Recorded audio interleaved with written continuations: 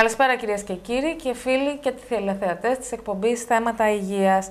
Απόψε έχω έναν ε, γνώριμο στους περισσότερους ε, από εσάς που μας παρακολουθείτε, τον δόκτωρα Ευάγγελο Βασιλιάδη, πολύ καλό φίλο και πολύ καλό γιατρό. Έχει κάνει και πέρσι πολύ ενδιαφέρουσες εκπομπές μαζί μας και επειδή πάντα με ανθρώπους που έχουν ε, γνώσεις, που κατέχουν ιδιαίτερως καλά κάποια αντικείμενα, θέλω να κάνουμε κάποιες εκπομπές, ακόμη και αν φαίνεται θεωρητικά ότι επαναλαμβάνονται κάποια πρόσωπα στην εκπομπή, είναι γιατί έχω την ασφάλεια ότι φέρω έναν άνθρωπο να κάτσει δίπλα μου που γνωρίζει πολύ καλά, κατέχει αυτό που θα πει και θα το εξηγήσει, γιατί δεν είναι πολύ εύκολο για πολλούς γιατρούς να στηθούν μπροστά σε μια κάμερα. Οπότε είναι θέματα που θέλω κάποιοι άνθρωποι, κάποιοι συνάδελφοι να έρχονται και να τα αναλύουν και τα συζητούμε και ιδιαίτερα θέματα που μας απασχολούν ιδιαίτερα. Σήμερα λοιπόν Έχουμε κάνει ένα πλάνο να σας πούμε πολλά πράγματα. Καταρχήν, δεν θέλω να σας τρομάξουμε. Θα πω λίγα πράγματα ε, στην πορεία, να συστήσω και πάλι στους νέους φίλους της εκπομπής, τον ε, κύριο Βασιλιάδη. Κάναμε ένα, ένα πλάνο και έχουμε πολλά να σας πούμε σήμερα, να δούμε λοιπόν πώς θα διαρθρωθεί η εκπομπή. Είπαμε να μιλήσουμε λίγο για εγκεφαλικές παθήσεις σε νεαρά άτομα από 18-45 ετών. Υπάρχουν πάρα πολλά προβλήματα που αντιμετωπίζουμε τελευταία και από εκεί μας ήρθε, μου ήρθε εμένα η έμπνευση να κάνουμε αυτή την ε, εκπομπή με αυτό το θέμα να μιλήσουμε λίγο για κεφαλικές αιμορραγίες που συμβαίνουν πολύ συχνά σε νεαρά άτομα που έρχονται στο ιατρείο και λένε έχω τρομερούς πονοκεφάλους και λες ε δεν είναι τίποτα, πάρει ένα παυσίπονο και αυτοί εμένουν και επιμένουν τα συμπτώματα και τους στέλνεις για μαγνητική και ανακαλύπτεις περίεργα πράγματα που δεν το φανταζόσουν. Ε, θα, θα τα πούμε ορισμένα πράγματα με λίγο περισσότερα στοιχεία, ναι. ε, κάποια άλλα επιγραμματικά, απλώς να σας δώσουμε κάποιες πληροφορίες. Θα μιλήσουμε λίγο για όγκους εγκεφάλου, για κάποιες λοιμώξεις, Λίγη έμφαση στις ημικρανίες, γιατί έχουμε κάνει παλιά εκπομπή με τον Dr. Giorgio Λάμπρου από το... και μας, μας τα έχει αναλύσει λίγο. Αλλά θα πούμε εμείς κάποια πράγματα που θέλει ο κ. Βασιλιάδης. Θα μιλήσουμε πολύ λίγο για τα αυτοάνοσα. Υπάρχουν ένα-δύο αυτοάνοσα νοσήματα που σχετίζονται πάρα πολύ με εγκεφαλικές παθήσεις και είναι συνήθι σε άτομα νεαρής ηλικίας. Ε, και θα κάνουμε μία εισαγωγή σε κάτι που μαστίζει τον κόσμο, τα νεαρά άτομα, ειδικά ηλικίες 20 με 35 χρόνων, τη σκλήρηση κατά πλάκας. Ε, καθώς προσπαθούσαμε να οργανώσουμε αυτή την εκπομπή, συνειδητοποιήσαμε ότι ο χρόνος δεν είναι αρκετός και πραγματικά ίσως τελειώσουμε και μία ολόκληρη εκπομπή να μιλήσουμε γι' αυτό. Αλλά επειδή καθημερινά ερχόμαστε αντιμέτωποι με τέτοιες διαγνώσεις και τα τελευταία χρόνια είναι απίστευτο πόσο έχουν αυξηθεί ε, οι ασθενείς που πάσουν από σκλήρωση κατά πλάκας, νομίζω θα δεσμευτούμε και σε κάποια στιγμή θα κάνουμε μια δεύτερη εκπομπή που θα μιλήσουμε γι' αυτό και μπορεί να το, να το αναλύσουμε και πιο, και, με, και πιο εξειδικευμένα και να βρούμε και άλλους τρόπους να, να δώσουμε αρκετές πληροφορίες στον κόσμο. Γιατί ακούγονται πολλά για νέες μελέτες, για νέες θεραπείες, για αντιμετώπιση για χίλια δυο. Οπότε επιφυλάσσουμε ότι θα μιλήσουμε ξεχωριστά για το και, θέμα. Οι θεραπείες παραμένουν όσο έχουμε μέχρι στιγμής. Ναι. Υπάρχουν πολλά υποσχόμενες μελέτες, αλλά ναι. ε, έτσι. Έχω διάβαζα και εγώ πριν λίγους μήνες ε, μία μελέτη που μιλάγανε για καινούργιο φάρμακο, αλλά δίνουμε πολλές ελπίδες στους ανθρώπους και τελικά βλέπουμε ότι σε πρακτικό επίπεδο μέχρι να δούμε τα αναμενόμενα αποτελέσματα και αν πραγματικά αυτά υφίστανται κλινικώς, είναι δύσκολο να αποφανθεί κανείς ναι, και να πει. Αυτό που λέμε στο στάδιο 3, 3. Ε, που γίνεται. Και πρέπει να περάσει και 20 χρόνια. Σε πραγματικούς ασθενείς, ναι, μπορεί να περάσει τουλάχιστον μια, τουλάχιστον μια δεκαετία. Τουλάχιστον μια δεκαετία, 10 με 20 χρόνια. Έτσι είναι. Ωραία. Λοιπόν, ο κύριος Βασιλιάδης, που μας τίμησε για τρίτη φορά με την παρουσία του, έχει σπουδάσει στο Αριστοτέλο της Θεσσαλονίκης. Κάτσε τώρα, να κάνω λάθος, με διορθώσει, ναι, γιατί δεν τα έχω γράψει. Σωστά, Ε, ήρθε μετά στην Αγγλία και έκανε την εξειδίκευσή του ως παθολόγος και ως νευρολόγος και σήμερα είναι, είναι διευθυντής του Stroke Unit, που είναι η μονάδα εγκεφαλικών στο Hillington και είναι και medical director στο νοσοκομείο. Αντιπρο... Assistant. Assistant. Clinical Director. Clinical Director, ναι. ναι. Όχι Medical Director. Clinical Director στο Hillington και Honorary Consultant στο Hairfield. Σωστά και πολύ πριν από ένα μήνα έκανα appointment σαν uh, Operational Lead για το Central και Northwest London σε όλο το stroke. Οπότε εντάξει, είναι πολύ, πολύ υψηλή θέση και με πολλές ευθύνες. Και συγχαρητήρια και τιμή μας. Και γι' αυτό λέω ότι δεν είναι τυχαίο ότι φέρνω κάποιους ανθρώπους να κάτσουμε μαζί, ε, γιατί τέτοιες εκπομπές ειλικρινά είναι μάθημα για μένα και είναι και τιμή και είναι και χαρά. Και πόσο μάλλον δε για τον δόκτωρα Βασιλιάδη που μου έκανε ποδαρικό πέρσι στην πρώτη πρώτη εκπομπή του θέματα υγείας. Οπότε έχουμε. Και ιδια... δόξα τω Θεώ πήγαν καλά τα πράγματα, πιστεύω. Οπότε... Μέχρι στιγμής, δόξα τω Θεώ, να δούμε. Ωραία. Καλώς ήρθες και πάλι και σε ευχαριστώ. Για μένα είναι μεγάλη τιμή και ευχαριστώ πολύ για, το φιλο, για τη φιλοξενία έτσι και για τις ευκαιρίες που μου δίνετε εδώ πέρα για να έρθω να μιλήσουμε. Χαρά μας. Λοιπόν... Χαρά μας να έχουμε τέτοιους ανθρώπους και, να, να, και τώρα που πήρες ένα τόσο σημαντικό τίτλο να διευθύνεις όλα τα εγκεφαλικά επεισόδια σε μια τόσο μεγάλη έκταση του Λονδίνου. Ε, respect που λένε και οι φίλοι μας οι Άγγλοι. Υποκλίνομαι επί το ελληνικότερο.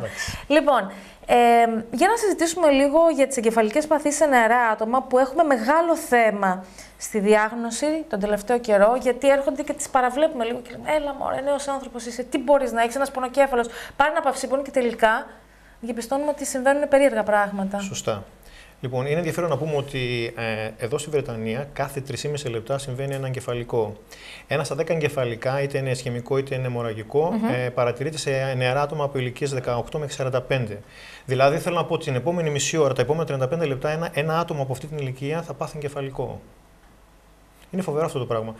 Δυστυχώς, ε, όπως είπαμε, τα, τα εγκεφαλικά δεν είναι παθήσεις που παρατηρούνται μόνο σε ηλικιωμένα άτομα, παρατηρούνται και σε, σε νεαρά άτομα και υπάρχουν διαφορετικοί μηχανισμοί που το προκαλούν.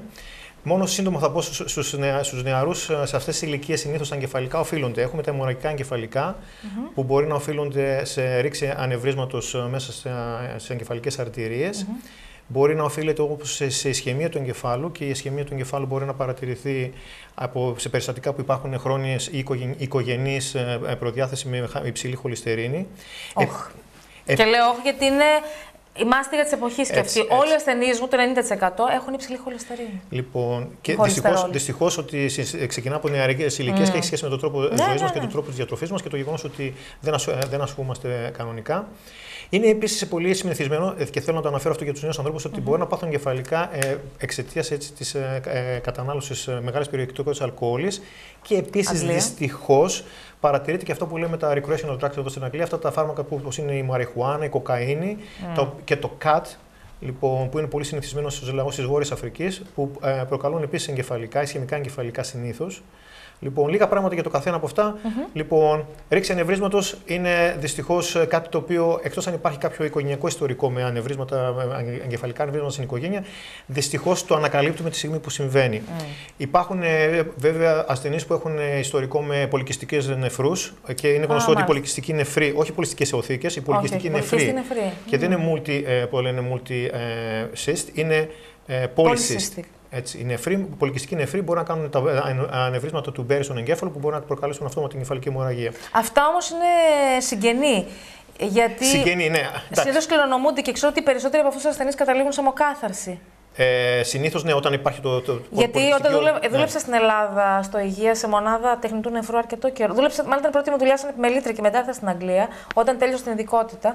Και είχα πάρα πολλές τέτοιες περιπτώσεις. Και τώρα χαίρομαι που το θίγεις, το είχα ξεχάσει αυτό. Λοιπόν, είναι όχι συνηθισμένο και δυστυχώς υπάρχει. Mm. Οπότε, αν, αν, αν, κατά κάποιο τρόπο έτσι και στην, ε, έτσι, στην πρωτοπαθή περί, ε, ιατρική, άμα ανακαλυφθεί κάποιος ε, ασθενής με, με πολυκυστικού νεφρούς, καλό είναι να γίνει κάποιος έλεγχος.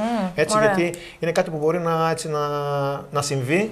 Είναι προβλεπόμενο. Δεν μπορούμε να, να, να εξετάσουμε όλο το πληθυσμό, αλλά τουλάχιστον αυτούς που έρχονται μπροστά στην πόρτα μας και έχουν την ευκαιρία, θα είναι καλό έτσι για να αποκλείσουμε την περίπτωση να πάθουν μια βαριά κεφαλική αιμορραγία που θα προκαλέσει φυσικά και καταστροφικές συνέπειες. Λοιπόν, ε, Όπως είπαμε, μετά είναι το, η αλκοόλη. Δυστυχώς το ενόπνευμα έχει τοξικές επιδράσεις. Γνωρίζουμε ότι το ενόπνευμα, η κατανάλωση ενόπνευματος αυξάνει την ε, πίεση και η αρτηριακή mm-hmm. πίεση είναι η πρώτη αιτία για καρδιοαγκεφαλικά επεισόδια. Mm-hmm. Είναι γνωστό αυτό. Επίσης, το ενόπνευμα κατά κάποιο τρόπο σχετίζεται με τα αιμοπετάλια. Μπορεί δηλαδή να προκαλέσει έτσι, είτε συγκέντρωση αιμοπεταλίων ή μπορεί να. και, και θρόμβωση, αλλά και από την άλλη μεριά μπορεί να προκαλέσει και καταστροφή της λειτουργίας των αιμοπεταλίων, γιατί παρεμβαίνει στο αναχινοδενικό όξι και στην θροβοξάνη και με τον τρόπο αυτό μπορεί να προκαλέσει αιμορραγίε. Λοιπόν, και φυσικά για τους νέους που πηγαίνουν και θέλουν να έχουν κάποια έτσι, διασκέδαση το βράδυ, ειδικά Παρασκευή και Σάββατο, θα, προ... θα έλεγα ότι αν τελικά αποφασίσουν ότι θα θέλουν να πιούν αρκετές ποσότητες συνοπνεύματο, να πίνουν και λίγο νεράκι μαζί με αυτό. Α. Λοιπόν, για να μπορούν ας πούμε, να ρεώνουν την. Έτσι, την... δεν, είναι, δεν είναι φάρμακο, αλλά τουλάχιστον ας πούμε, ελαττώνει την πιθανότητα. Γι' αυτό και η αρχαία. Το αραιώνει σαν συγκέντρωση στο αίμα. Γι' αυτό και οι αρχαίοι Έλληνες είχαν τον Ινοχό, ο οποίος η δουλειά του ήταν να ρίχνει ζεστό νερό μέσα στο κρασί, να αραιώνει, ώστε να μπορούν ας πούμε, να, να ελαττώσουν τις πιθανότητες της παρενέργειας του αλκοόλ. Λοιπόν, ε, Επίσης, αυτό με τις εγκεφαλικές αιμορραγίες μπορεί να προκληθούν ε, όπως είναι η παραχνοειδή αιμορραγία. Mm-hmm. Ε, είναι ένα φαινόμενο το οποίο δυστυχώς παρατηρείται συνήθως πολύ συχνά μετά από σεξουαλική πράξη και ίσως έχει σχέση με τις ορμόνες και την, έτσι, την διαδικασία αυτή την, ε, της, όλης, της όλης πράξης. Λοιπόν, είναι κάτι επίσης το οποίο δεν μπορείς να το αποφύγεις, ε, δεν, δεν μπορούμε να πούμε ότι υπαρχει κάποια πρόβλεψη. Λοιπόν, υπάρχει επίσης ε, όταν, όταν, για αυτούς για αυτούς τους νέους που παίζουν ε, δύσκολα αθλήματα όπως είναι το rugby, όπως είναι το box, μπορεί να προκληθούν, αυτό μπορεί να προκαλέσουν ε, ε ανεβρίσματα στον εγκέφαλο ή να κάνουν ρήξη εγκεφαλικών αγγείων και να προκαλέσουν έτσι και, έτσι και από το θάνατο. Χτυπήματα, αυτά είναι τραυματικά. Και από φυσικά από τροχέα. Λοιπόν, σε αυτές τις περιπτώσεις τι κάνουμε; Λοιπόν, είναι κάτι το οποίο πιθανόν δεν μπορούμε να το ελέγξουμε, δεν μπορούμε να το, έτσι, να το προβλέψουμε, αλλά εγώ θα, θα έλεγα ότι ασθενείς οι οποίοι εκεί που κάθονται στα καλά καθούμενα είναι σαν να δέχονται ένα χτύπημα στο κεφάλι τους, ας πούμε, σαν να πέφτει ένας κεραυνός στο κεφάλι τους ή κάποιος τους χτυπάει με ένα, με ένα σφυρί. Αυτός ο έντονος πονοκέφαλο θα πρέπει οπωσδήποτε να τους κάνει να πάνε στο νοσοκομείο. Μην σκεφτούν ότι α και τα λοιπά θα χάσω το χρόνο μου ή θα, θα με κοροϊδεύουν. Όχι ε, πονοκέφαλος, ο οποίος εμφανίζεται αυτόματα και είναι πραγματικά στη μέγιστη ε, έντασή του στη στιγμή της εμφάνισης, πρέπει να δημιουργήσει συμπτώματα, έτσι αυτό που λέμε alarming symptoms, ε, σε πώς λένε signs, ότι αυτό εδώ πέρα πρέπει να το ελέγξουμε οπωσδήποτε στο νοσοκομείο. Και αξίζει το κόπο να πάει κάποιος στο νοσοκομείο, γιατί η έγκαιρη προσέλευση στο νοσοκομείο προφανώς να γλιτώσει αυτόν τον συγκεκριμένο ασθενή από περαιτέρω έτσι, προβλήματα.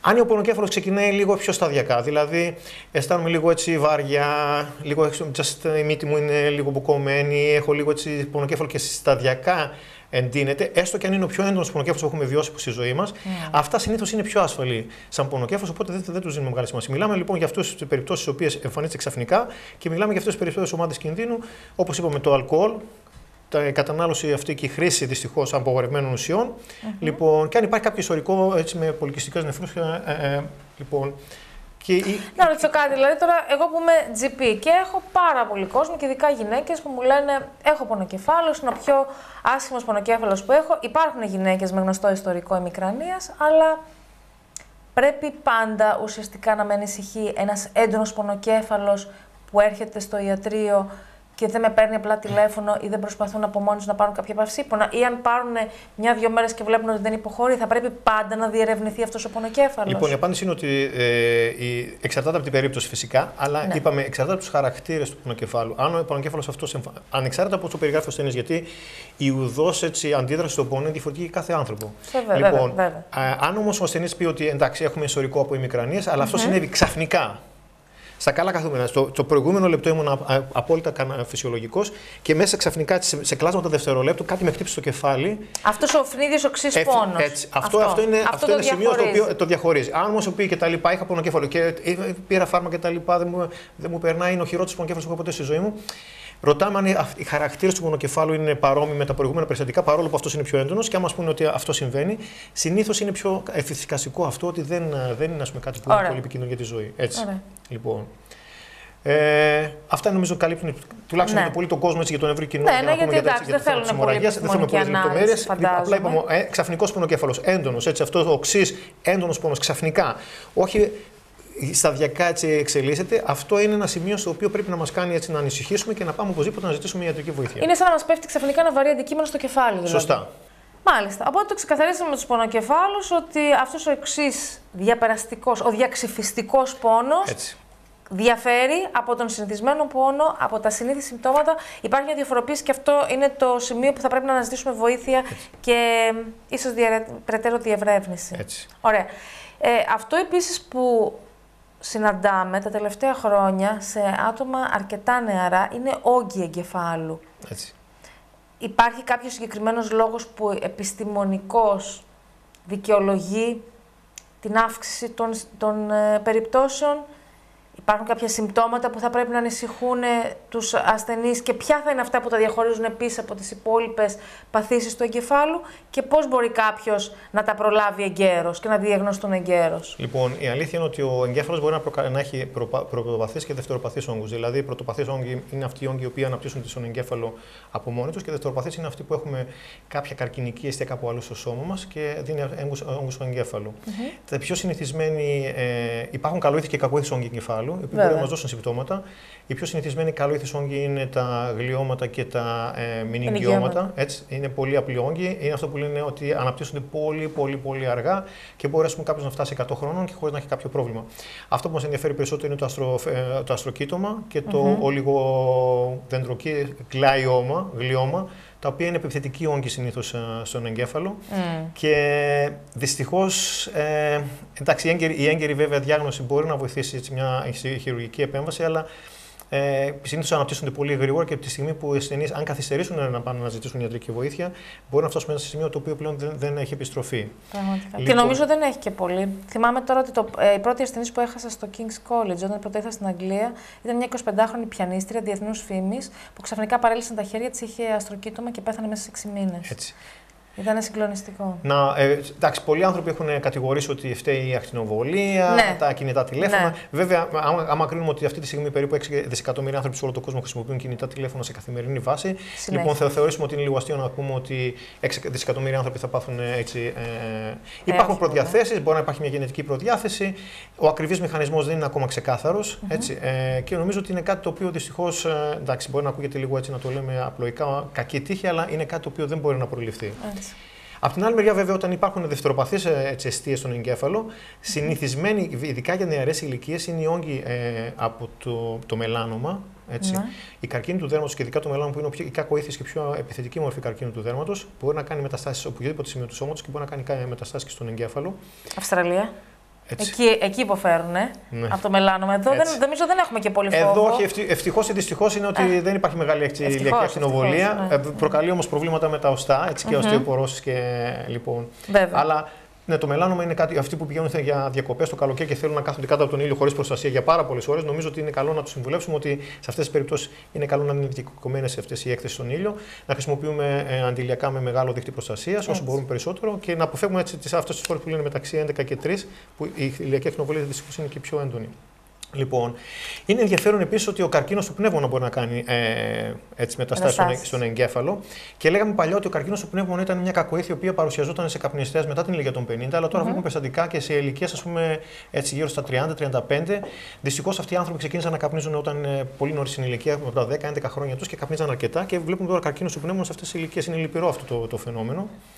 Λοιπόν, το λέμφωμα επίσης μπορεί να κάνει έτσι, ε, εστιάσει στον εγκέφαλο που μπορεί και να αιμορραγήσουν, αλλά συνήθως δίνει και συμπτώματα από αλλού με, με λεμφαδένες γενικούς ε, μεταστάσεις.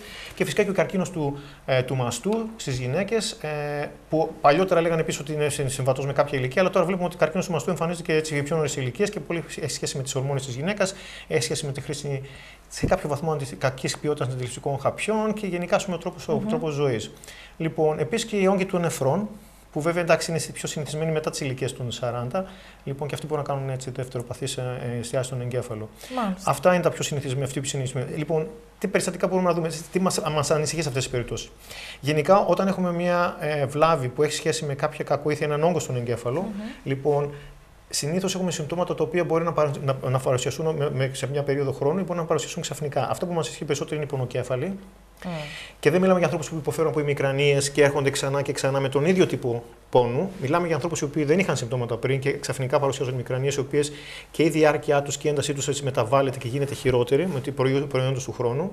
Ε, Συνήθως μπορεί να έχει σχέση με, με παρέσεις, αιμοδίες, δηλαδή αιμοδιάσματα στο σώμα. Μπορεί να προκαλέσουν όμως και επιληπτικούς σπασμούς και να είναι η πρώτη εκδήλωση αυτή, κάποιος mm-hmm, να παρουσιάσει με επιληπτικούς mm-hmm. σπασμούς. Λοιπόν, ε, μπορεί να προκαλέσουν έτσι, διαταραχή έτσι, ήλιγκο, ε, μπορεί να προκαλέσουν διαταραχές με την όραση, ας πούμε όπως τα αδενόματα της υπόφυσης, που είναι σχετικά ένα καλοήθου τύπου ας πούμε, όγκοι, που μπορεί να προκαλέσουν ακόμα και, έτσι, και τύφλωση αν δεν ενεργήσουμε σωστά και πιέσουν το οπτικό χίασμα. Λοιπόν, και γενικά μπορεί να προκαλέσουν ας πούμε, συμπτώματα. Υπάρχουν όμως περιπτώσεις που, που υπάρχουν όγκοι οι οποίοι είτε αιμορραγούν ενδιάμεσα και αυτό μπορεί να μας προκαλέσουν, να μας προκαλέσουν συμπτώματα σαν το εγκεφαλικό. Δηλαδή να έχουμε ξαφνικά πούμε, παράλυση από, ένα, από μια πλευρά του σώματός μας, δυσχέρεια συνομιλία. Μπορεί να έχουμε ε, προβλήματα με την όραση, προβλήματα κατανόησης, αυτό που λέμε ας πούμε, έτσι, μια συγχυτική κατάσταση. Mm-hmm, Ό,τι mm-hmm. καινούριο εμφανίζεται, το οποίο δεν είναι συμβατό με την προσωπικότητα του ασθενή και έχει σχέση, όπως είπαμε, με αυτά τα συμπτώματα, καλό είναι να του δίνουμε μια σημασία και να μην λέμε Α, διάφασε πιο πολύ, δεν κοιμήθηκες καλά κτλ. Είναι καλό λοιπόν να ενοχλούμε τους γιατρούς σε αυτές τις περιπτώσεις, γιατί καμιά φορά έτσι, ένα καλό ιστορικό μπορεί να μας βοηθήσει να κάνουμε μια έγκαιρη διάγνωση και αυτή κατά συνέπεια να μας βοηθήσει σε πιο έγκαιρη θεραπεία. Ή ας πούμε αυτό το, να, να, να, να προλάβουμε περισσότερα, περισσότερη ζημιά. Μάλιστα. Πάρα πολύ ενδιαφέρον και θα σταθώ λίγο προς το τέλος της εκπομπής όσον αφορά τον καρκίνο του μαστού τώρα, επειδή ε, αυτό το διάστημα, αλλά θα κάνω νήξη στο τέλος για να μην χαλάσω τον ηρμό των σκέψεών σου και ε, τη ροή της εκπομπής μας. Ε, επειδή ο καρκίνος του μαστού υπάρχει μεγάλος αγώνας αυτή τη στιγμή και εκπροσώπηση από την Ελλάδα, από την κυρία Αναστασία Παζαΐτη, Καραμα, Παύλα Καραμανλή, ε, κάνει ένα μεγάλο αγώνα να προβληθεί η Ελλάδα ε, Παγκοσμίως. ναι, με μία εικόνα, με ένα ε, άγαλμα, νομίζω είναι η Θεά Αφροδίτη, αν δεν κάνω λάθος. Δεν το ανέλησα και αυτό. Θεωρώ ότι ίσως είναι ναι. κατάλληλη. Τέλος πάντων, είναι ένα γάντι. Ναι, ναι, είναι λοιπόν. ένα γάντι τέλος πάντων. Είναι μια εικόνα που προωθούν στην Ευρώπη για την υποστήριξη του μαστού. Και μάλιστα μου ζήτησε, επειδή κάνουμε αυτήν εδώ την εκπομπή, μάλιστα εγώ το πρώτο ότι μπορούμε να το υποστηρίξουμε και ε, θα δείτε. Ε, θα, το θα το δείτε ένα τρέιλερ στο κάτω μέρος της εκπομπής μας, να το βάλουμε όπου ο κόσμος μπορεί να υποστηρίξει και να ψηφίσει, γιατί πραγματικά υπάρχουν πάρα πολλοί μορφοί καρκίνου, υπάρχουν πάρα πολλές γυναίκες που πάσχουν από μεταστάσεις στον εγκέφαλο λόγω προχωρημένης μορφής καρκίνου, οπότε είναι καλός όσο μπορούμε να στηρίξουμε, να ψηφίσουμε ε, και να προωθήσουμε αυτή την προσπάθεια, γιατί είναι η φωνή της Ελλάδας στην Ευρώπη και είναι η δική μας παρουσία και όσο περισσότερους ανθρώπους βοηθάμε τόσο το καλύτερο. Γιατί μην ξεχνάμε ότι ο καρκίνος τα τελευταία χρόνια μαστίζει και υπάρχει και ένα μεγάλο ποσοστό γυναικών που πήρανε, ε, πήρανε συγγνώμη, IVF, Πήρανε ορμόνες για να κάνουν εξωσωματική θεραπεία για να αποκτήσουν παιδιά. Γιατί σήμερα οι γυναίκες τεκνοποιούν σε μεγάλη ηλικία λόγω της καριέρας τους και των επαγγελματικών τους ενασχολήσεων. Οπότε καταφεύγουν σε αυτή τη λύση και αυτές οι ορμόνες δυστυχώς πολλές φορές προκαλούν καρκίνους. Και αξίζει τον κόπο, γιατί γινόμαστε, αν μου επιτραπεί η λέξη, λίγο ρατσιστές ως προς αυτήν την ομάδα γυναικών, επειδή είναι μεγάλες, δεν τους καλύπτει το NHS, πρέπει, αν θέλεις να κάνεις εξωσωματική, να απευθυνθείς σε κάποιον ιδιότητα, να πληρώσεις ένα μεγάλο ποσό χρημάτων, αλλά δεν μπορείς να στερήσει από καμία γυναίκα το δικαίωμα να προσπαθήσει να, να βιώσει τη μητρότητα. Και πολλές φορές το αντίτιμο είναι η υγεία της και μάλιστα είναι η, η τραγική αυτή κατάληξη να έρθει αντιμέτωπη με μια τόσο σοβαρή ασθένεια που μπορεί να, είναι, να τη στοιχήσει και την ίδια της ζωή. Ναι. Το αντίτιμο της απόκτησης ενός παιδιού. Οπότε θα ήθελα ευκαιρίας δοθήσεις από αυτό που είπες και ορμόμενοι τον καρκίνο του μαστού και τις μεταστάσεις να το αναφέρουμε, να το υποστηρίξουμε. Εμείς, εγώ ως γιατρός και ως γυναίκα το έκανα και παίρνω την πρωτοβουλία. Και επειδή με τον σταθμό έχουμε πολύ καλή συνεργασία και πάντα ο μάνατζερ μας είναι πολύ υποστηρικτικός σε όλα αυτά, ο κύριος Λίγκος, να το δούμε και στο κάτω μέρος ε, και όσοι το δουν στην οθόνη, ώστε να ψηφίσουμε και να υποστηρίξουμε και να βοηθήσουμε όλοι όσο μπορούμε πιο πολύ. Έτσι. Και κλείνω την παρένθεση. Και πάω παρακάτω. Σε αυτά που λέγαμε. Γιατί η όγκη κεφάλου πραγματικά είναι κάτι πολύ τραγικό και αλλοιώνει την προσωπικότητα του ανθρώπου. Έτσι. Υπάρχουν όμως ε, και πάρα πολλές άλλες ε, καταστάσεις. Υπάρχουν λοιμώξεις του εγκεφάλου και ειδικά έχω βιώσει πολύ άσχημα περιστατικά ε, στο νοσοκομείο όταν δούλευα, με εγκεφαλίτιδες, αλλά και άλλες λοιμώξεις, που έρχονταν άνθρωποι, μπορώ να πω φυσιολογικοί, μετά από μία λίμωξη του εγκεφάλου, γινόντουσαν άνθρωποι εντελώς διαφορετικοί, επιθετικοί, καμία σχέση, ο χαρακτήρας τους αλλοιωνόταν. Πολλές φορές είχε την εντύπωση ότι χειριζόταν ένα ψυχιατρικό ασθενή, αλλά δεν είχε να κάνει με ψυχιατρική νόσο.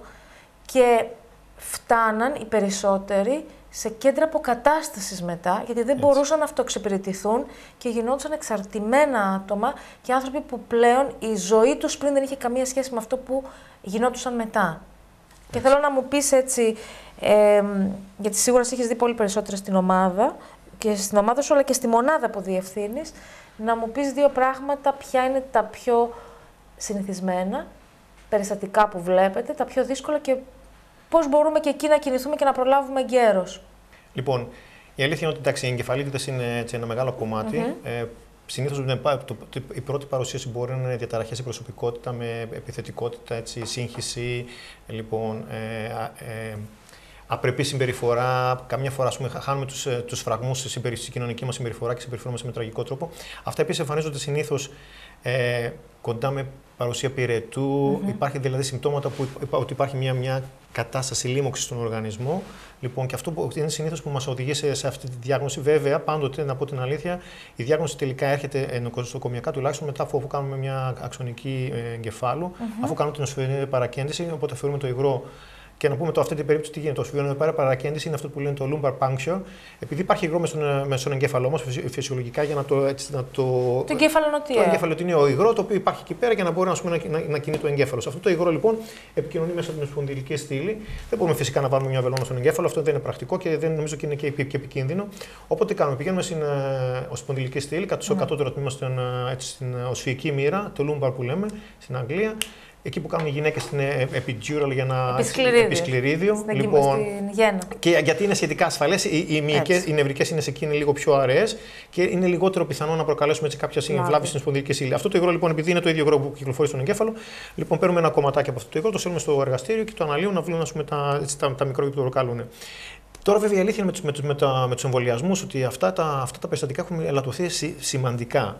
Δεν ξέρω αν οι συνάδελφοι παιδίατροι βλέπουν κάτι, αλλά εμείς, ας πούμε, στους στους Mm. ενήλικες είναι πολύ σπάνιοι. Συνήθως μιλάμε για ανθρώπους οι οποίοι προέρχονται από τις χώρες της Ασίας ή τι χώρε Αφρικής, αλλά είναι πολύ πιο, λιγότερο έτσι, εμφανή.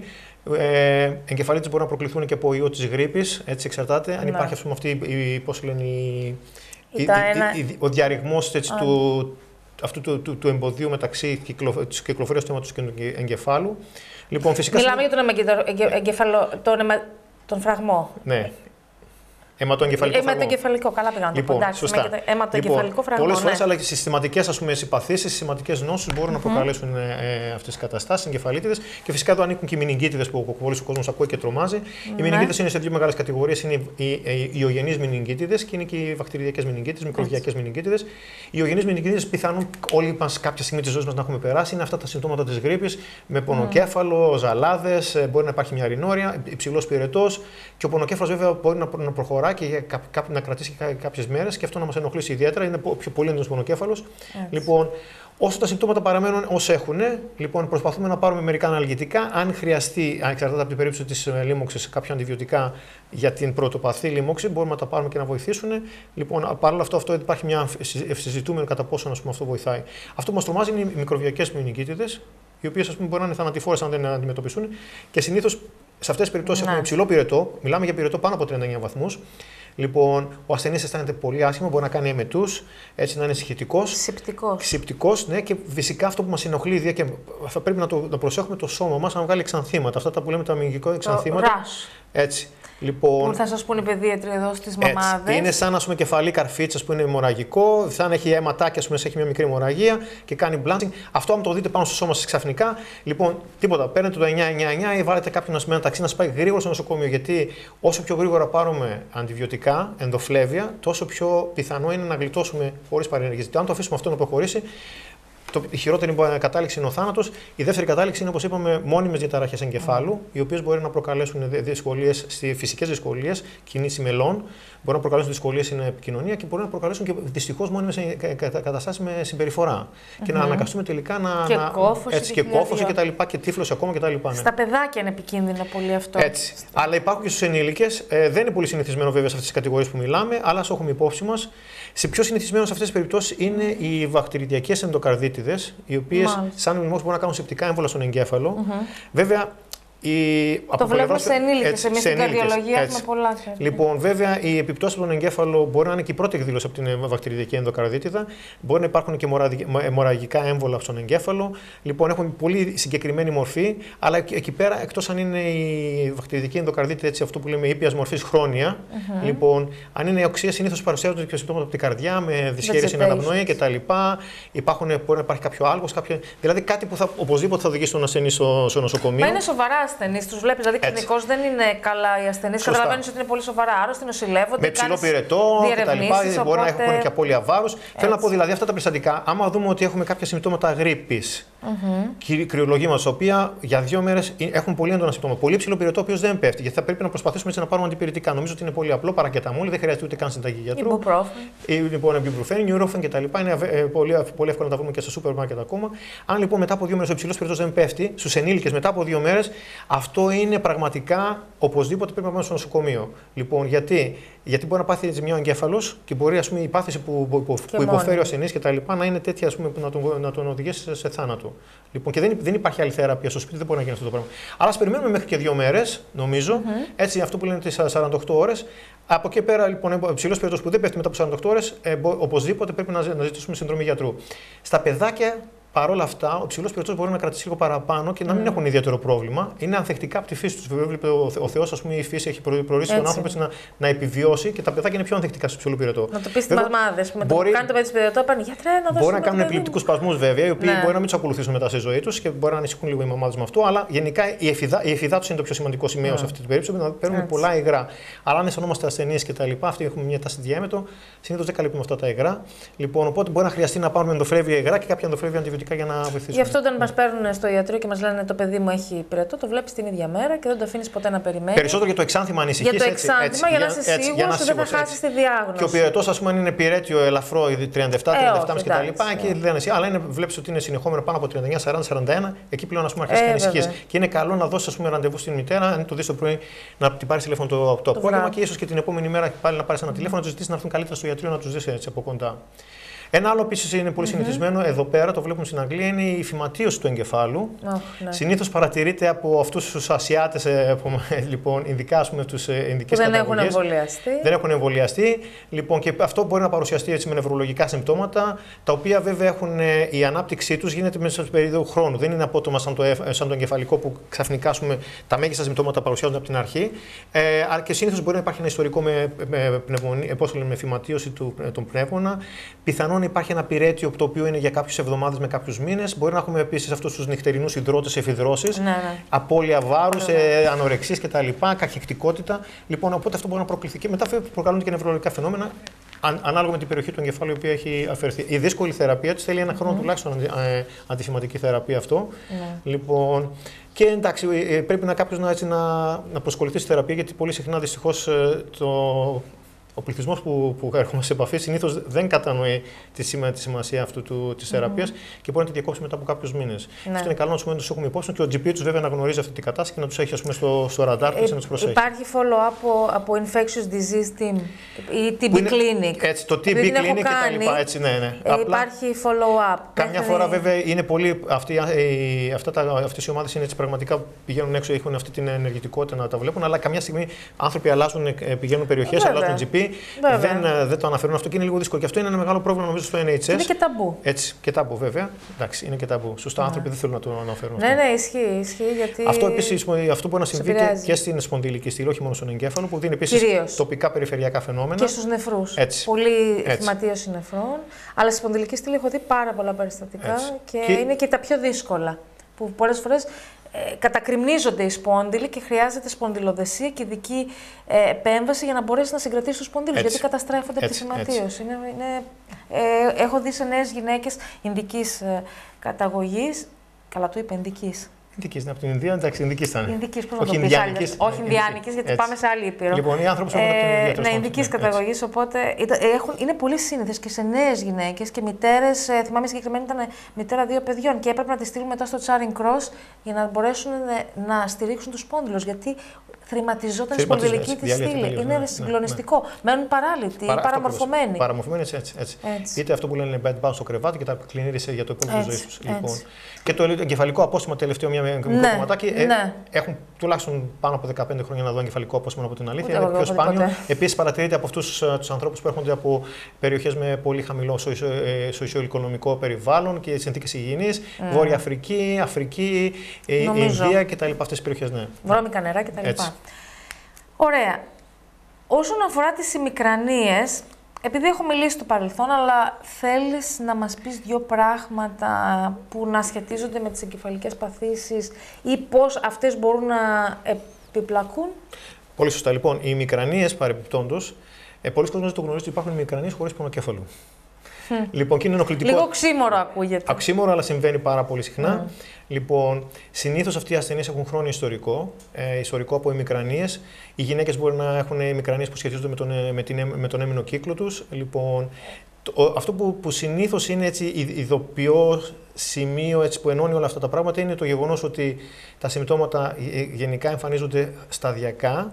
Λοιπόν, μπορεί να προκληθούν νευρολογικά φαινόμενα, δηλαδή έχουμε ασθενείς οι οποίοι παρουσιάζονται στο νοσοκομείο με ημιπάρεση, ημιπληγία, ναι. χωρίς πονοκέφαλο, έχουν μια αξονική που δείχνει ότι δεν υπάρχει ε, αιμορραγία και πηγαίνουν σε θρομβόληση, επειδή αυτοί οι ασθενείς έχουν τελικά ε, πώς το λέμε, ημιπληγική ημικρανία χωρίς πονοκέφαλο. Γιατί κάνετε θρομβόληση, Γιατί έχω δουλέψει στο θρομβόληση. Λοιπόν, κάνουμε θρομβόληση γιατί ο ασθενής παρουσιάζεται με ημιπληγία. Έχουμε μια... Δεν βρίσκεις όμως έμφρακτο. Άμα βρεις έμφρακτο τελικά, ε, οι μελέτες λένε ότι αν δει έμφρακτο στην, εγκεφαλή, στην αξονική, συνήθως είναι τόσο μεγάλο ότι και ναι. συνήθως αυτά τα περιστατικά δεν πάνε καλά, ακόμα και αν θα κάνεις προμβόληση. Οπότε έχεις ένα ιστορικό με ημιπληγία, ξαφνική ημιπληγία, ε, δεν υπάρχει πόνος πονοκέφαλο για να σε ανησυχήσει με την έννοια σου ότι να, να πάει κάποια άλλη διαφορετική διάγνωση. Η αξονική εγκεφάλου δεν δείχνει τίποτα, οπότε πρέπει να προχωρήσει με θρομβόληση. Γιατί λέμε στην δικιά μας τη δουλειά ότι ο χρόνος είναι εγκέφαλος. Κάθε mm-hmm. λεπτό που περνάει μετά από ένα ισχυμικό εγκεφαλικό αιμορραγικό, χάνουμε 2 εκατομμύρια εγκεφαλικά κύτταρα, τα οποία δεν επανέρχονται ποτέ, ποτέ. Και αυτή η βλάβη θα είναι μόνιμη. Γι' αυτό το λόγο λοιπόν, αν έχεις ημιπληγία, ξαφνική εμφάνιση ημιπληγίας, χωρίς πονοκέφαλο και μια αξονική που δεν δείχνει αιμορραγία, προχωράς σε θρομβόληση έστω και αν κάνεις λάθος. Και αν προκαλέσεις, στο λέω γιατί μία από τις τελευταίες μου δουλειές πριν ε, δουλέψω στο GP, γιατί έκανα διάφορες δουλειές για να αποκομίσω εμπειρία. Δηλαδή μου, μου ήταν προ, πρόκληση, challenging, πήγαινα και την έκανα τη δουλειά. Λοιπόν, δούλεψα στο Hyper Acute Unit, που τώρα εσύ θα είσαι και υπεύθυνος και αυτής στο ε, Northwick Park. Okay, το ναι. Hyper Acute Stroke Unit. Και όλη η περιοχή αυτή του βορειοδυτικού Λονδίνου ερχόταν στο νοσοκομείο. Ναι. Ήμουν λοιπόν. Brent και τα λοιπά, ναι. Όλο, όλο, γιατί φαντάζομαι ότι ήμουν έξω και περίμενα το στενοφόρο, μου λέγανε blue light στο beeper. Είχα συγκεκριμένο χρόνο που έπρεπε να κατέβω από την κλινική Έτσι. και να περιμένω το στενοφόρο και ανοίγοντας την πόρτα δεν ήξερες τι να περιμένεις. Και τους πηγαίναμε κατευθείαν στο thrombolysis unit.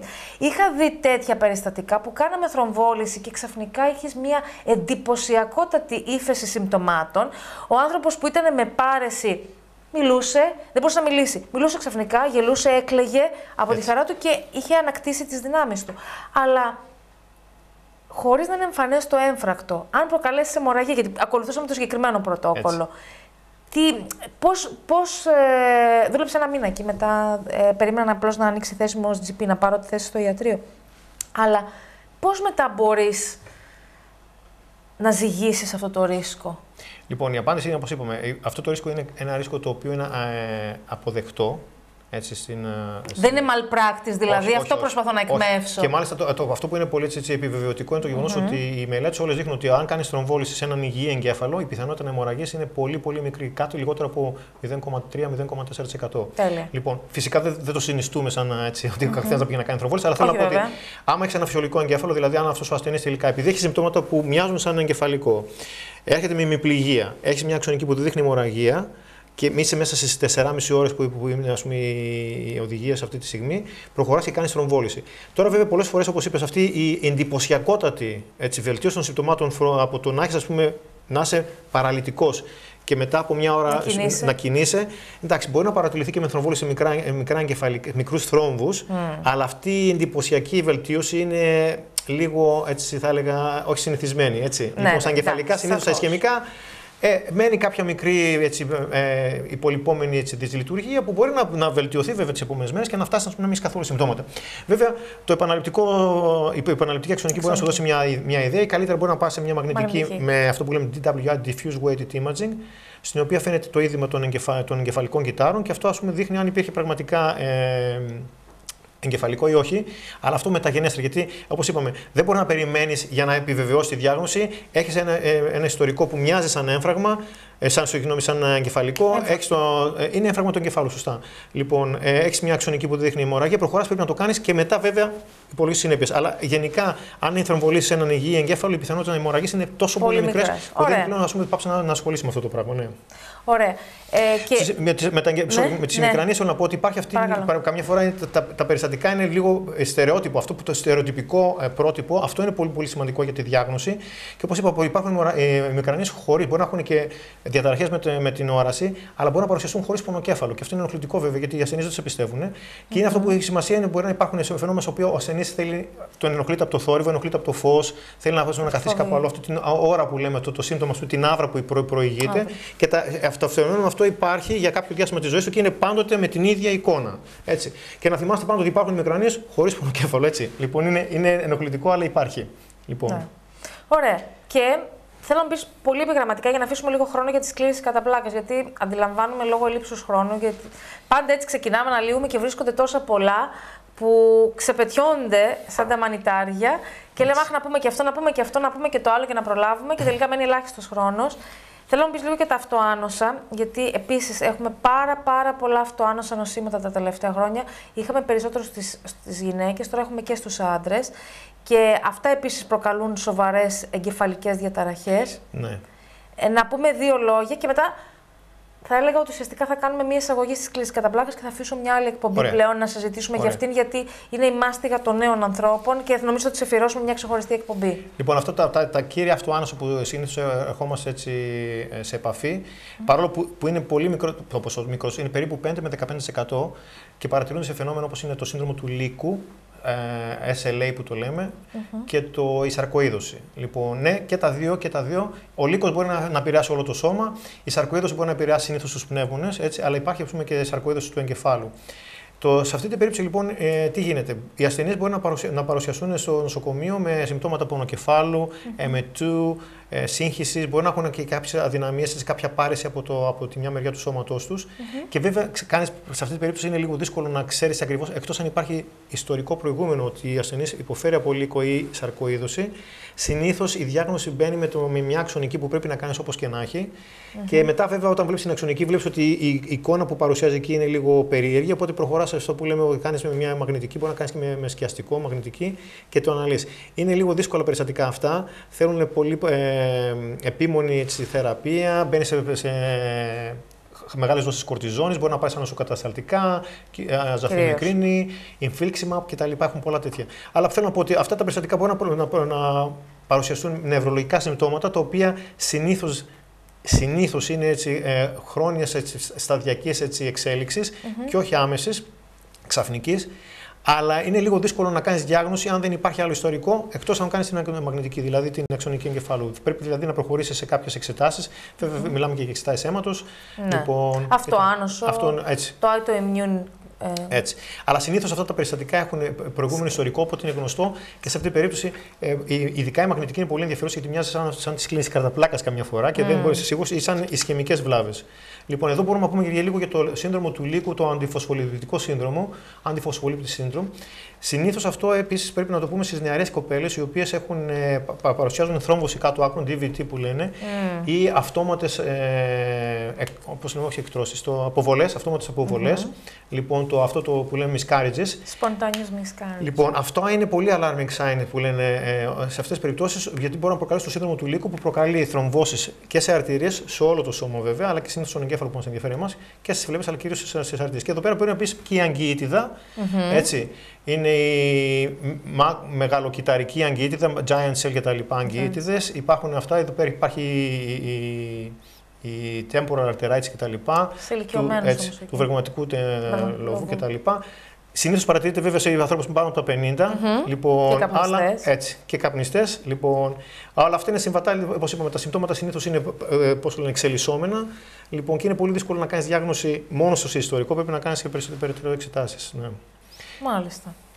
Ε, βέβαια, εμείς στο καρδιολογικό, εγώ ασχολούμαι πολλά χρόνια τώρα με την καρδιολογία, βλέπουμε πάρα πολλά, τα PFO, βλέπουμε τα διαχωριστικά νευρίσματα της αορτής και πάρα πολλοί άνθρωποι σίγουρα ε, έρχονται και σε εσάς, σας καλούμε ή συνεργαζόμαστε, γιατί ξεκινώντας από ένα σοβαρό καρδιολογικό πρόβλημα, το, το πρόβλημά τους μετατοπίζεται στον εγκέφαλο και έχουμε σοβαρές επιπλοκές. Ή μπορεί να είναι η πρώτη εμφάνιση τους, έτσι, του καρδιολογικού ε, Ναι, μπορεί να, ναι ακριβώς. Μπορεί να γίνει και το ναι. αντίστροφο. Ναι.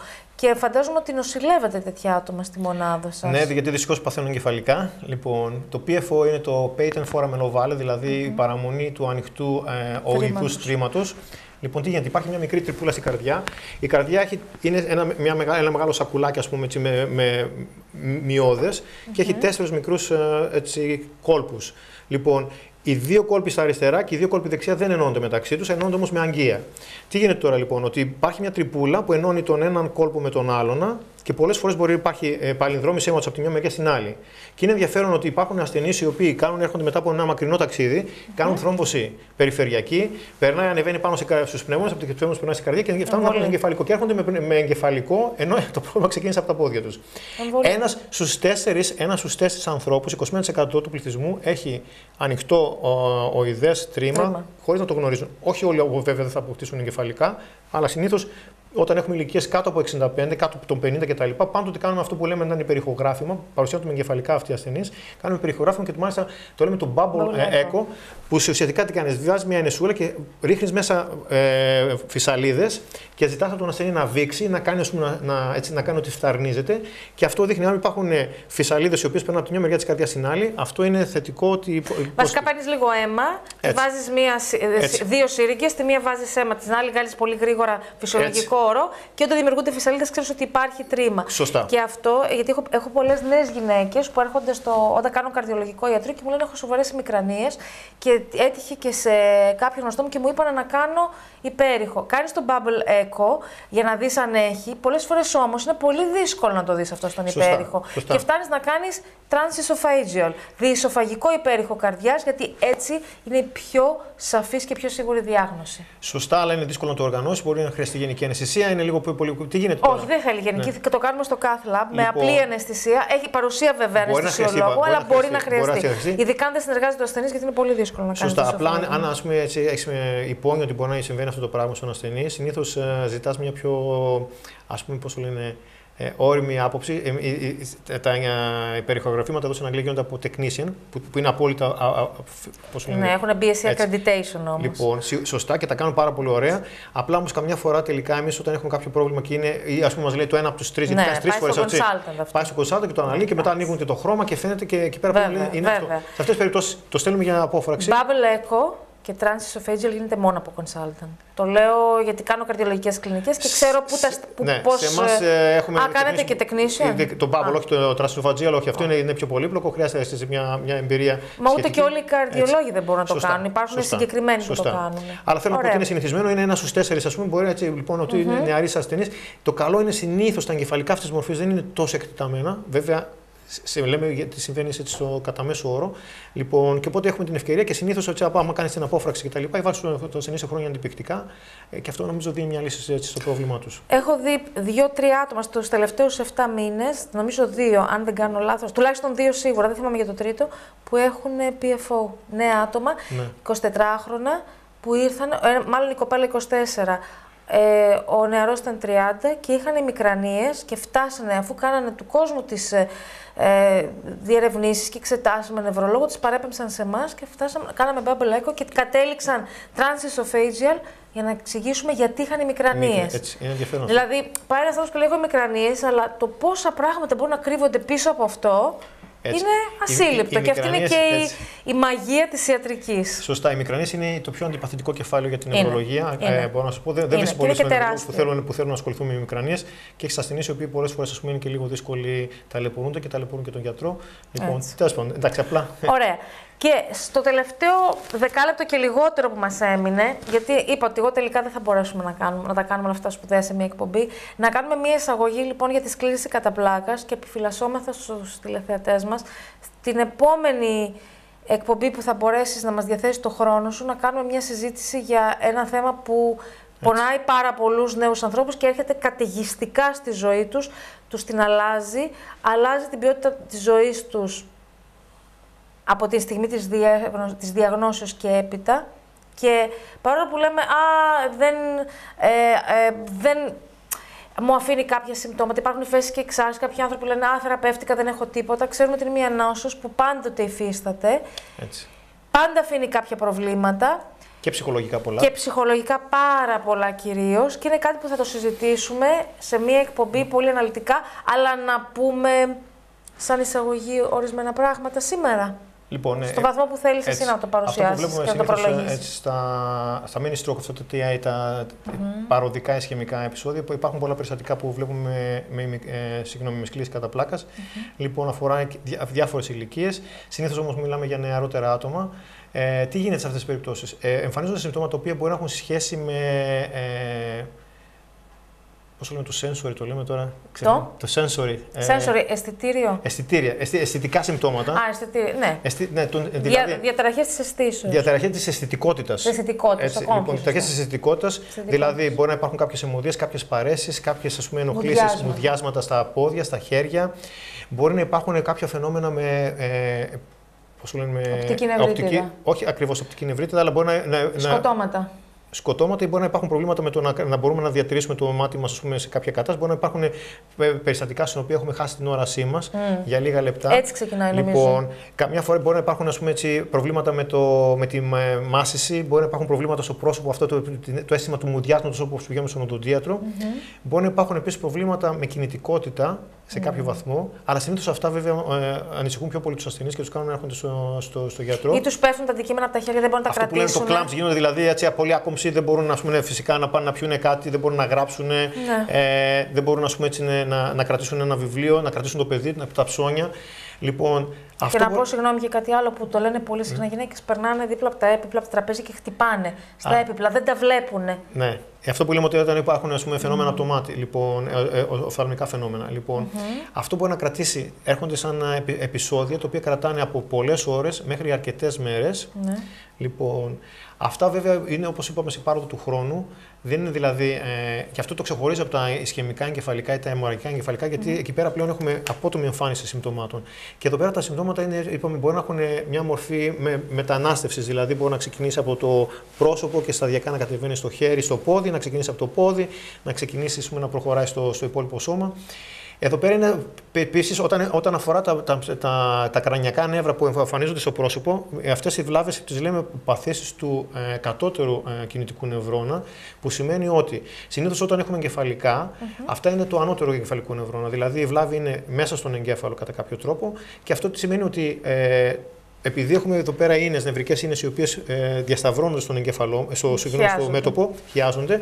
Λοιπόν, βλέπεις ότι τα συμπτώματα μπορεί να υπάρχουν σε όλο το πρόσωπο, αλλά ε, αυτό το κομμάτι δεν έχει πρόβλημα. Όταν είναι το κεντρικό του ανώτερου κινητικού νευρών, όταν είναι το κατώτερο κινητικό νευρών, όπως συμβαίνει με την κατά καταπλάκας, το μέτωπό μας επίσης έχει συμπτώματα. Δηλαδή, όταν ζητάς στον ασθενή να κάνει, ας πούμε, να κοιτάξει προς τα πάνω, να δεις αν υπάρχουν εδώ πέρα αυτές οι γραμμώσεις. Λοιπόν, αν ζητάς να κλείσει τα μάτια κτλ., να κρατήσεις τα μάτια κλειστά κτλ. Αυτά εδώ πέρα, η αισθητικότητα εδώ πέρα έχει, έχει, χαθεί. έχει χαθεί. Λοιπόν, αυτό είναι σχετικά ένα σημείο που μας ανησυχεί. Επίσης, άμα τα προβλήματα στην ε, σκελή κατά πλάκας δεν αφορούν τον εγκέφαλο, αλλά αφορούν τη σπονδυλική στήλη, μπορεί να έχουμε περιφερειακές παθήσεις με, με αδυναμία ε, βάδιση. Mm-hmm. Λοιπόν, επίσης, τα, τα αισθητικά φαινόμενα είναι πολύ πιο έντονα στην αρχή τουλάχιστον των συμπτωμάτων.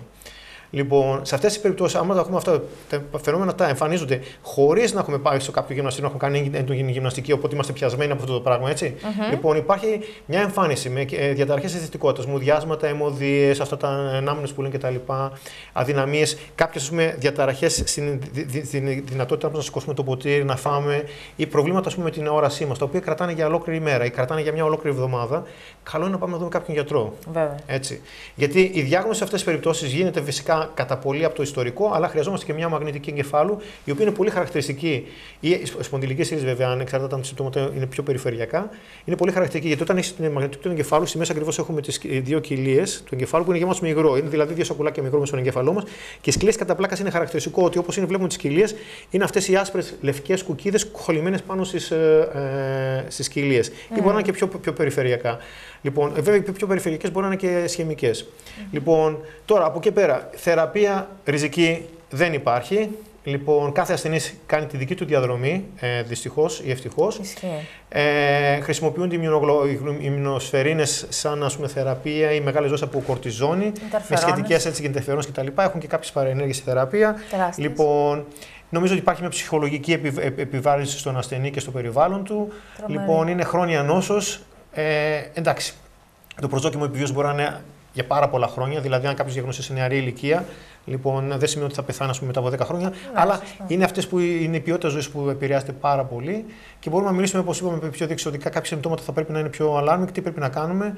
Λοιπόν, πολλοί ασθενείς επίσης αρνούνται τη διάγνωση όταν παρουσιαστούν σε γιατρό και έχουμε είδα πρόσφατα ένα περιστατικό λοιπόν, που είχε διαγνωστεί πριν από 12 χρόνια, δεν ήθελε να το πιστέψει, το άφησε να προχωρήσει και τώρα έχει φτάσει σε μια κατάσταση στην οποία πλέον δεν μπορεί να ελέγξει τους σφιγκτήρε, δηλαδή παραδείγματα κράτεια. Πολύ σύνηθες. Υπάρχει έτσι, δυσχέρεια στην uh, κατάποση. Mm-hmm. Πρέπει να υπάρχουν πλάνα στην, ε, έτσι, που λέμε πιο, uh, πιο νωρίς τι θέλουμε να κάνουμε όταν θα φτάσουμε σε αυτή τη διακασία. Μπορεί να, να, ο ασθενής να γίνει παραλυτικός και να, τελικά να ανάγκαζεται να είναι κλινήρης ή να χρησιμοποιεί ε, αναπηρική καρέκλα. Λοιπόν, είναι μια νόσος που εξελίσσεται. εξελίσσεται και βασικά νομίζω ότι είναι πολύ σημαντικό ότι είναι η αποδοχή, το γεγονός ότι υπάρχει ένα σύστημα τουλάχιστον που υποστηρίζει αυτούς τους ασθενείς θεραπεία ριζική δεν υπάρχει. Είπαμε υπάρχουν θεραπείες οι οποίες χρησιμοποιούνται μόνο και μόνο για να ελαττώσουμε την ε, εξέλιξη. Είχε βγει ένα καινούριο φάρμακο. Τώρα, δεν, συγγνώμη ναι, αν, το, αν το πω λάθος, γιατί δεν είμαι σίγουρη, το έχω διαβάσει πολύ καιρό. Τεριφλούξιμα. Ναι. Καλά το είπα. Ναι, αλλά. Καλή μνήμη ακόμη. Λοιπόν. Ε, ότι είχε γίνει μια καινούργια μελέτη και ήταν πολύ αισιόδοξη. Ισχύει; Ε, δεν έχει επιβεβαιωθεί με μεγάλες μελέτες. Οπότε μάλιστα. σε αυτή την περίπτωση κρατάμε λίγο τα χαρτιά μας κλειστά και περιμένουμε να δούμε τι θα γίνει. Ε, Δυστυχώς, όπως είπα, ε, απλά αυτά που χρησιμοποιούμε σήμερα είναι μόνο για να ελαττώσουμε την εξέλιξη, να επιβραδύνουμε την εξέλιξη. Mm-hmm. Λοιπόν, και όπως είπα, είναι εντάξει. Ναι. Α, συγγνώμη, διάκοψα. Ναι. Όχι, θα, νομίζω ότι είναι ωραίο ότι κάναμε αυτή την εισαγωγή, αλλά καλό είναι να κάνουμε μια εκπομπή και να μιλήσουμε και λίγο για την αποκατάσταση αυτών των ασθενών και λίγο για τις θεραπείες και λίγο για μελέτες. Δηλαδή, θα το επιδιώξω να αφιερώσω μια εκπομπή γιατί αφορά πάρα πολλούς νέους ανθρώπους. Έχει τέτοια έξαρση τα τελευταία χρόνια που πραγματικά ε, ε, έχω εκπλαγεί και δεν περίμενα, γιατί δεν ξέρουμε ακόμα τι το προκαλεί. Όχι, έχουν κατηγορηθεί και πολλοί μηχανισμοί ε, για να Και θέλω να τα πούμε και αυτά. Α, πολύ σωστά, ωραία. Θα το αφήσουμε τότε και μια άλλη εκπομπή. Θα το αφήσουμε γιατί ε, θέλω να δώσουμε πολύ σαφείς πληροφορίες όσο μπορούμε. Έτσι. Και ε, το κοινό είμαστε... να πιο κατανοητό. Μιλάμε λίγο απλά καμιά φορά, με ακούσει κανένα συνάδελφο. Έτσι, έτσι. Προσπαθούμε να μιλάμε πιο απλά για να είναι κατανοητό για τον ευρύ κοινό. Ε, γιατί βέβαια δεν κάνουμε εκπομπή για γιατρούς, κάνουμε εκπομπή για απλούς ανθρώπους και καλό είναι να μπορούν να καταλαβαίνουν και να παίρνουν κάποιες πληροφορίες. Γιατί σίγουρα έτσι. αγωνιούν και υπάρχουν πράγματα που δεν έχουν τη δυνατότητα να ρωτήσουν και δεν είναι και διαθέσιμοι πολλοί γιατροί ή δεν έχουν ε, το χρόνο ή την καλή διάθεση να θέλουν. ή και τα δύο. ή και τα δύο. Το λέω γενικά, να κάτσουν και να κάνουν μια συζήτηση μακροσκελή και να εξηγήσουν στον κόσμο κάποια πράγματα. Και μην ξεχνάμε ότι εδώ το σύστημα έχει εξειδικευμένους νοσηλεύτρε που μπορούν να μπουν σε αυτή τη διαδικασία. Θα τα λέγαμε αυτά έτσι πολύ Όλα αυτά. Έτσι, Άρα, επειδή είναι πάρα πολλά θέματα, πολύ σημαντικές πληροφορίες που μπορούμε να δώσουμε στους τηλεθεατές μας. Θα αφιερώσουμε ειδική εκπομπή γι' αυτό. Πολύ θα τους τα πούμε όλα αυτά. Και ακόμη και οι άνθρωποι, γιατί υπάρχουν τελικά πάρα πολλές μορφές. Και υπάρχουν πάρα πολλές διαφορετικές διαγνώσεις και πάρα πολλά διαφορετικά στάδια ε, να έτσι, μπορέσει έτσι. ο κόσμος να καταλάβει τη διαφορά, ούτε να απελπιστεί, αλλά να πάρει όσο μπορεί περισσότερες πληροφορίες από εμάς. Και νομίζω ότι η ενημέρωση θα βοηθήσει ώστε να, να υπάρχει πρόσβαση σε κατάλληλα κέντρα έτσι. Έτσι, και κατάλληλου μηχανισμούς. Υπάρχουν μηχανισμοί υποστηρικτική στην κοινότητα, μπορεί να βοηθήσουν τους ασθενείς. Ε, είναι ένας ολόκληρος κύκλος και πραγματικά έτσι. έτσι αξίζει το κόπο. Εντάξει, άπαξ και συνέβη, πρέπει να το αποδεχτούμε και να δούμε τι μπορούμε να κάνουμε. Και Σωστό. γενικά, ας πούμε, η αποδοχή αυτή και το υποστηριστικός ε, μηχανισμός που υπάρχει γύρω μπορεί να μας βοηθήσει να έχουμε μια καλής ποιότητας ζωή για πάρα, πάρα, πάρα πολλά χρόνια. Έτσι, έτσι είναι. Και θα μείνω σε αυτό ότι πραγματικά οι άνθρωποι που έχουν διαγνωστεί με ξύλινες καταπλάκες έχουν σοβαρά ψυχολογικά και ψυχιατρικά Έτσι. προβλήματα. Στο τέλος, ναι. Αν δεν έχουν στην αρχή, τουλάχιστον σε στο τέλος σίγουρα. Σε κάποια στην πορεία Έτσι. έχουν ή αποκτούν. Ωραία. Λυπάμαι που τελειώνει αυτός ο χρόνος, γιατί όσος και να είναι δεν είναι ποτέ αρκετός. Πάντως πραγματικά ευχαριστώ που για τρίτη φορά είσαι μαζί μας απόψε, που μας είπες πάλι εξαιρετικά πράγματα και εξαιρετικές πληροφορίες και μοιράστηκε τις γνώσεις σου μαζί με εμά και με το κοινό που μας παρακολουθεί. Συγχαρητήρια για άλλη μια φορά για αυτή την ξεχωριστή θέση που πήρες στο Λονδίνο, γιατί ε, όλοι εμείς και εσύ που έφυγες πριν κάποια χρόνια από την πατρίδα και ήρθαμε εδώ χωρίς να γνωρίζουμε κανέναν και στήσαμε μια ζωή και μια καριέρα, είναι μεγάλη ηθική ικανοποίηση να ξέρεις, στηριζόμενος στις γνώσεις σου και στις ικανότητές σου και σε τίποτε άλλο, να μπορείς να καταξιωθείς σε έναν τόσο ανταγωνιστικό χώρο όπως είναι η ευρύτερη ας πούμε, περιφέρεια του Λονδίνου που έχει χιλιάδες γιατρούς. Και αυτό είναι το ευχάριστο και το παρήγορο για όλους εμάς και για όλους εσάς που μας βλέπετε από μακριά. Σας ευχαριστούμε. Χίλια ευχαριστώ και πάλι. και σε περιμένω να μιλήσουμε για τις κλήσεις κατά πλάκα και ελπίζω να μπορέσει σύντομα να μιλήσουμε για αυτό το ιδιαίτερα ευαίσθητο θέμα. Ευχαριστώ όλους εσάς που μας συντροφεύσατε, που είχατε την υπομονή να μας ακούσετε και να μας παρακολουθήσετε για άλλη μια Κυριακή. Σας εύχομαι καλό βράδυ, καλή εβδομάδα και ραντεβού την επόμενη με, την επόμενη Κυριακή με, πιστεύω, ένα εξίσου σοβαρό, ωραίο, ενδιαφέρον θέμα υγείας να συζητήσουμε και να σας παρουσιάσουμε. Καλή νύχτα.